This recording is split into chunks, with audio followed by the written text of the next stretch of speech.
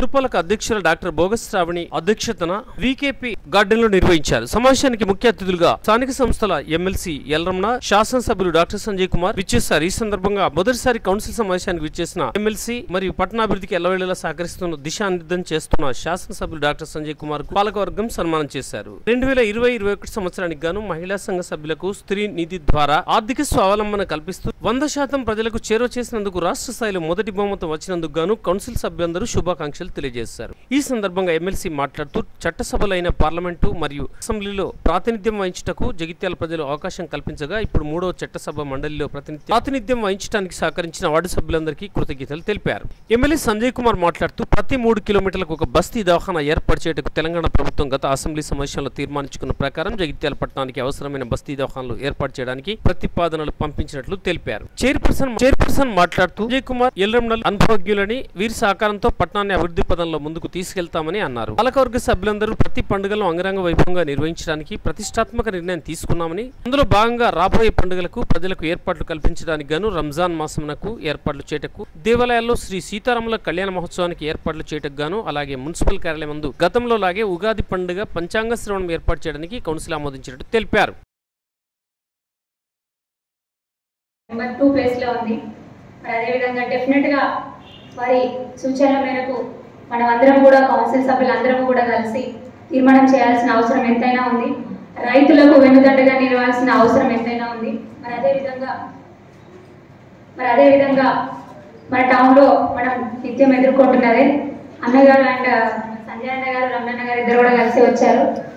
Machine భగీరథకి దాదాపు కూడా చాలా సమస్యలు మనకు కొంచెం ఎందుకంటే నలభై సంవత్సరాల వరకు కూడా ఉండేలాగా ఒక పైప్ లైన్ లేయింగ్ అనేది మనకు జరుగుతుంది. ఎందుకంటే గత ముప్పై సంవత్సరాల నుంచి కూడా లేని విషయం అది. పైపులు పాడైపోయి అస్తవ్యస్తంగా ఉన్నాయి. గత గత ముందు టర్ములలో కూడా మన ఏ ఇక్కడ కూడా ఏ రిపేర్లు కూడా జరగలేదు.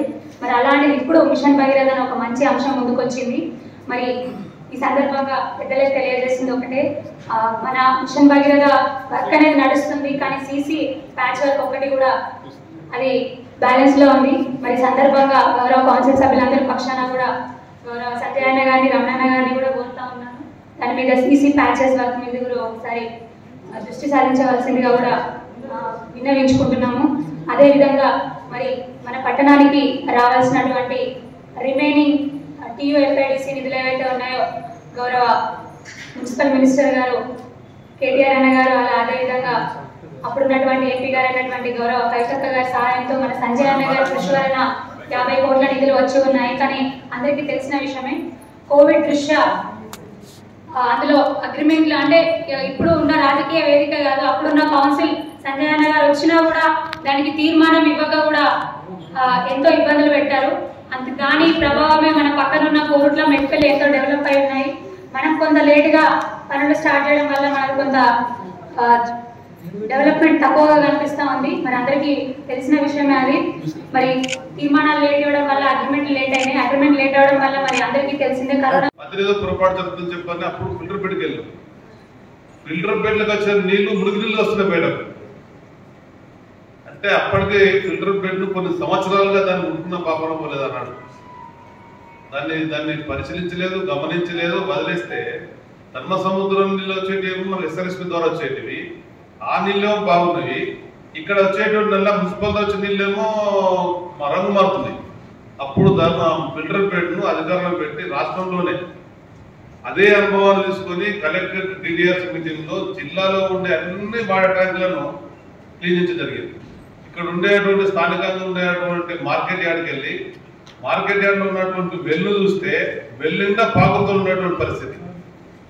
అంటే ఎప్పుడైనా ఇదిగా అంటే మనము చిన్న చిన్న పనుల దృష్టి పెట్టము మనకు ఉన్నటువంటి కానీ మనకు ఉన్నటువంటి పనులను కానీ ఎప్పుడైతే వాటిని దృష్టి పెట్టినంత ఉన్నటువంటి అవ- అవసరాలను అవకాశాలను మనం పనిచేసినట్టయితే అవి సత్ఫలితాలు వస్తాయి. అట్లా అటువంటి ఉదాహరణ ఒకటి చెప్పాలని మనసులో అనుకున్నా ఆ విధంగా చెప్పే అవకాశం ఇచ్చినటువంటి అందరికీ ప్రత్యేకంగా ధన్యవాదాలు వేస్తూ ఈ మధ్యనే మన మినిస్టర్ కేటీఆర్ గారి దగ్గర జగిత్యాల సంబంధించిన సమావేశం జరిగింది.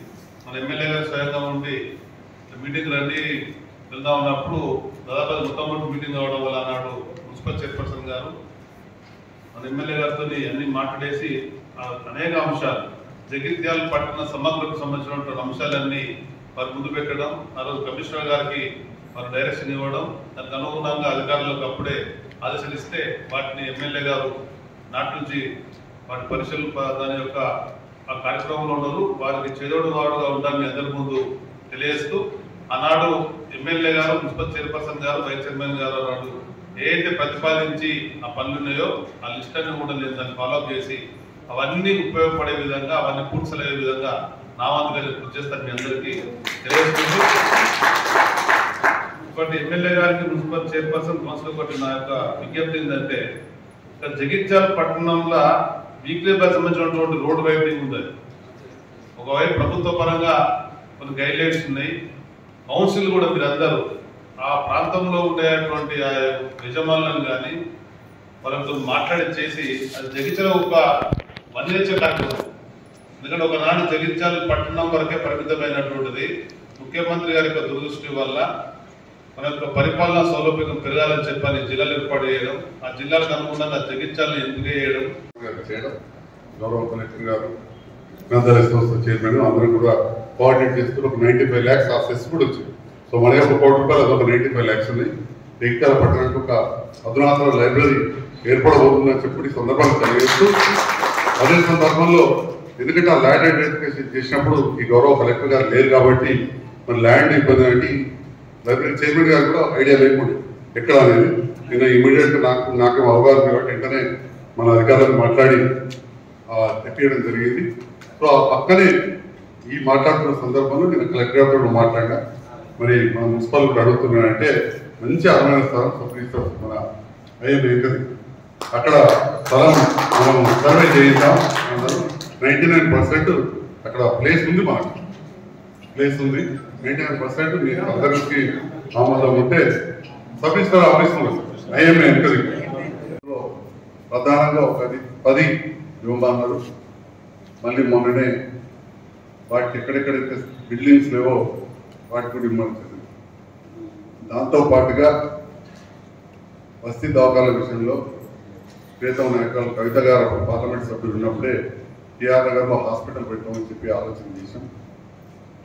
ప్రైమరీ హెల్త్ సెంటర్ దరూర్ క్యాంప్లో ఆల్మోస్ట్ డిఫాల్ట్ ఉంది. అసలు డాక్టరే వచ్చుడు లేదు రకరకాల దగ్గర నుంచి లోతుకు పోదలుచుకోలేదు షిఫ్ట్ చేస్తాం అనుకుంటే కొంత ఎస్ఆర్ఎస్పి అక్కడ వాళ్ళు నన్ను ఆబ్జెక్షన్ చేయడం దాంతో కొంత ఆగిపోయింది. దాని బడ్జెట్ కూడా ఎస్ఆర్ఎస్ నుంచే సాలరీస్ ఇచ్చేది. దానివల్ల అది కొద్దిగా ఆగిపోవడం జరిగింది. ఇప్పుడు మళ్ళీ ప్రభుత్వం తీసుకున్న నిర్ణయం ప్రకారం టీఆర్ నగర్ ప్రపోజ్ చేశాం. ఏ బస్సు దవాఖానన్నా మనం ఉన్న హాస్పిటల్కు త్రీ కిలోమీటర్స్ అంటే అసలు మన పట్టణం భౌగోళికంగా చాలా దురదృష్టకరం. విస్తరించుకోలేము అసలు. రకరకాల కారణాలు ఇప్పుడు రాజకీయ వేదిక కాదు. చాలా తక్కువ ఉండింది. అటు ఓల్డ్ బస్ స్టాండ్ ఇటు మన ఇప్పుడు కొత్త బస్ స్టాండ్ దగ్గర మదనైట్ హాస్పిటల్ మెడికల్ కాలేజ్ హాస్పిటల్ అవుతుంది కాబట్టి సో ఈ మూడు కిలో మీటర్ల రేంజ్లో మనకు పెద్దగా ఏమి లేవు. అవకాశం అక్కడ జేఎస్ఎల్ హాస్పిటల్ ఉంది.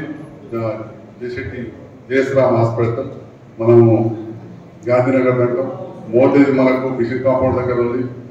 కిలాగడ్డ దగ్గర ఉంది కాబట్టి ఇంకొకటి ఏమైనా అవకాశం ఉంటే పాత బస్ స్టాండ్ మూడు కిలోమీటర్ల దూరంలో ఏమైనా అవకాశం ఉంటే చూడాలి కానీ చెప్పుకోవాలని అనుకున్నా కానీ ఎంత వచ్చినా అది రెండు కిలోమీటర్లు దాటలేదు. మనం తర్వాత ఫ్యూచర్లో చేంజ్ చేసుకోవచ్చు సో టీఆర్ గారు ఎక్కడ అనేది అక్కడ ఉన్న స్థలాన్ని బట్టి నడిలో తీసుకున్నాం మధ్యలో తీసుకున్నాం మన మధ్యలో నుంచి డివైడ్ చేసాం కాబట్టి మీరు అందుబాటులో ఉండే విధంగా ఎక్కడ జనసాంద్రత ఎక్కువ ఉంటుందో అది తీసుకుందాం.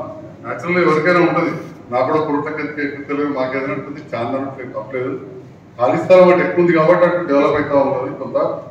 కానీ మనం కూడా తప్పకుండా చేసుకున్నాం దాంతో పాటుగా కొన్ని తీర్మానాలు ప్రవేశపెట్టింది ఆమోదించారు ఇక అతి ముఖ్యమైన విషయం. మనది వ్యవసాయ ఆధారిత ప్రాంతం. మన మున్సిపల్ పరిధి అయినా కానీ జగిత్యాల పట్టణంలో ఇలా నివసించే వాళ్ళు యాభై శాతం మంది ఏదో రకంగా భూమి ఉన్నవాళ్ళు లేకపోతే గతంలో ఉండి అమ్ముకొని వచ్చిన వాళ్ళు ఇక్కడ నుండి వ్యవసాయం చేస్తున్న వాళ్ళు లేదా మిగతా వ్యాపారస్తులు బులియన్ మర్చెంట్సే కావచ్చు క్లాత్ మర్చెంట్సే కావచ్చు హోటల్స్ కావచ్చు వివిధ వ్యాపారాలు నడవాలన్నా కానీ రైతు మంచి ఉంటేనే మన జగిత్యాల వ్యాపారాలు ఇంక్లూడింగ్ నా దవాఖాన నడవాలన్నా ఊళ్ళలో పైసలు పంచుకుంటేనే నాకు పైసలు వస్తాయి.